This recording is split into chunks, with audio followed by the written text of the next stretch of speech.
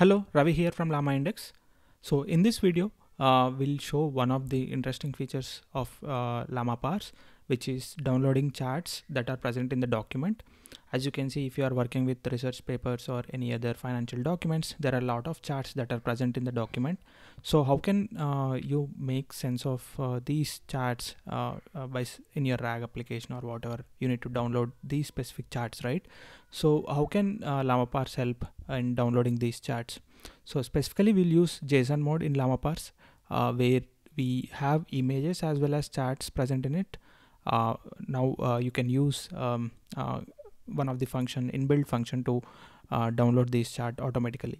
So as said, uh, the JSON mode uh, provides a lot of data and metadata for each page of your document, including details about your charts and images.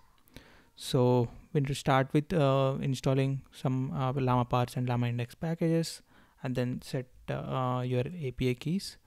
We'll use a recent paper, Agentless, uh, demystifying uh, LLM-based software engineering agents, with, where they used a LlamaIndex as well, and we'll download the charts present in the paper. So first, let's download the paper here. So so this downloaded the paper, and uh, you'll have these.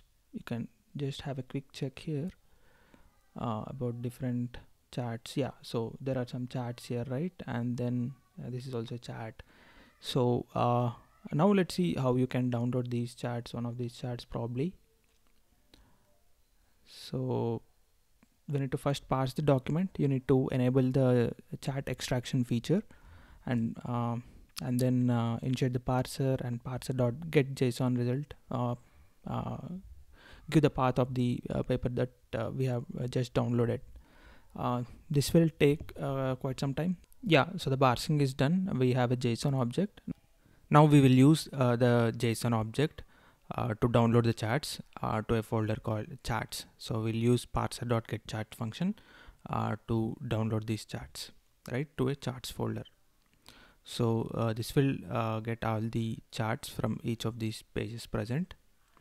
And you can see these charts getting downloaded to the charts folder here and then uh, once these are downloaded uh, we'll just take uh, a random chart and plot it here for showcasing. Let's run it. So this is one of the chart that is present in the paper. So you can uh, check all the charts that are downloaded uh, even manually as well in the charts folder. Apart from this uh, if you want images present in the document you can use uh, parser.getImages function to download the images present in the document. So you just need to call parser.getImages function uh, using the same json object as well as uh, uh, pass the folder name where you want to download it.